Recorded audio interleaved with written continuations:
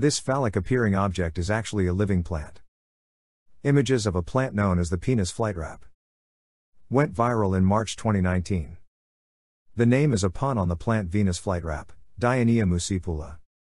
The plant is native to the Philippines and belongs to the Nepenthes genus.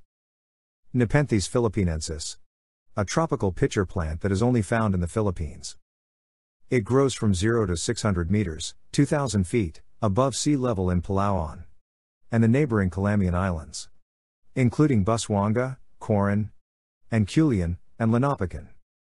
When the pit trap has fully grown and the lid is lifted, the plant becomes less phallic looking.